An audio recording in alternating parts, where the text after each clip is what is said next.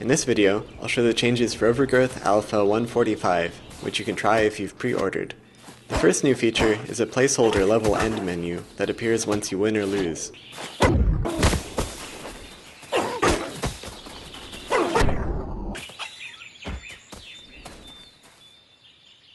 You can choose to retry the level or keep playing. There's also a menu that appears if you press escape in the editor, allowing you to return to the level select screen and switch to a different level. The second feature I worked on is adding more detail to the blood effects. They're now handled per texel rather than per triangle, so they can show smaller cuts and drips. For example, now the spear slash cuts a fine line across the opponent, which then slowly starts to drip. Stab wounds bleed more profusely, but from a smaller area.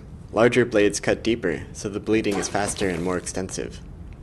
To briefly explain how this works, each character has a unique blood map texture. This blood map stores the amount of blood at each texel, which is a pixel in the texture image. If a weapon slices a character, then it adds blood wherever the cut plane intersects the body, and adds some drips that walk down the surface from the cut, leaving trails behind them. If a weapon stabs a character, then it adds blood based on decal projection of a wound texture, and creates more drips from the entrance and exit points. So far I've just recreated the existing blood effects using the new system, but the real benefit will be new effects that were previously impossible, such as small facial bleeding and blood sticking to weapons. That's it for this week. If you'd like to pre-order and try the alpha for yourself, you can do that at wolfire.com slash pre-order. If you'd like to hear about development news as soon as it happens, you can follow me on Twitter at wolfire.